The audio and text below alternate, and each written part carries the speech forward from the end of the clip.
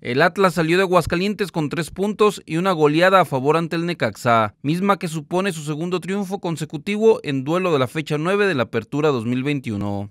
Los rojinegros de Diego Coca vencieron a los Rayos gracias a un doblete de Julián Quiñones y otro tanto de Julio Furch.